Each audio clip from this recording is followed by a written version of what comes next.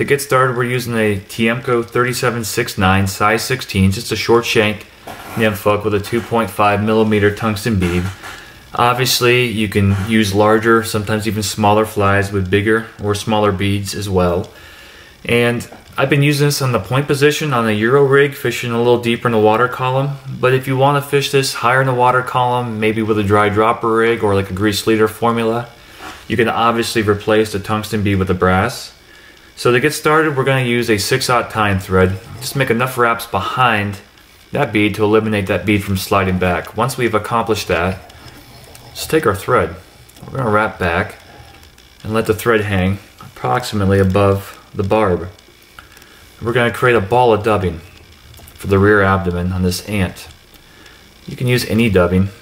Recently I've been using some of this Wapsi spiky squirrel dubbing in a black what I like about this dubbing is once you catch a couple fish, if you catch a couple fish, these guard hairs will kind of start popping out, giving it a little more meatier, natural look, almost like a wounded ant pattern with mangled legs.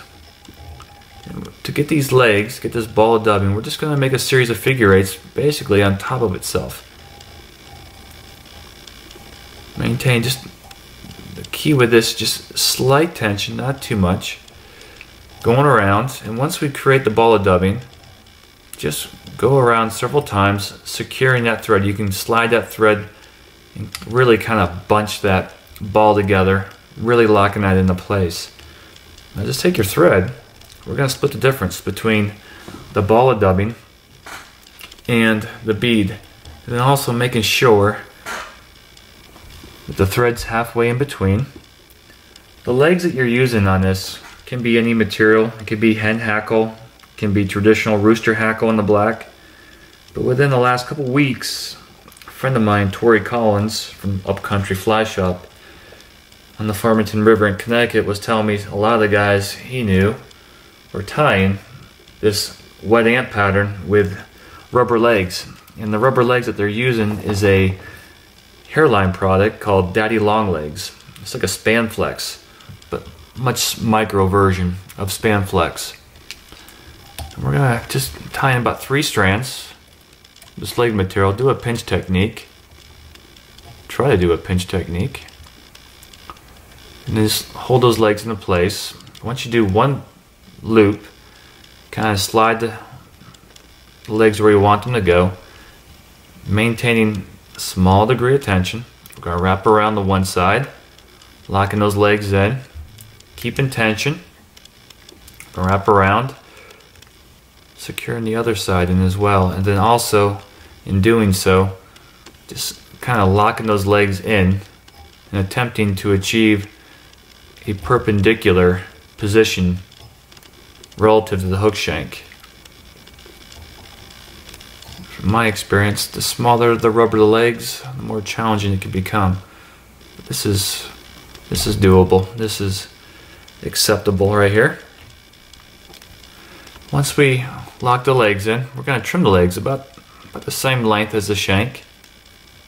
Remember, with rubber legs, it's always easier to take off than add on. So always cut long first, and if you need to trim, you can always trim. To finish this fly off, just take our whip finish. We're going to do a two, three whip finish secure that, snip. Now, to make sure this thread doesn't come undone, and then also to add a little density, we're going to take this Loon UV fly finish in a black color,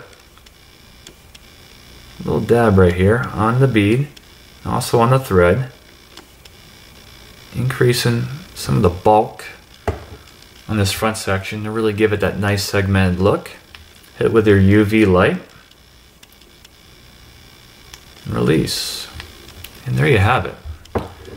This is a simple but very effective wet ant pattern I've been fishing last couple weeks with great success.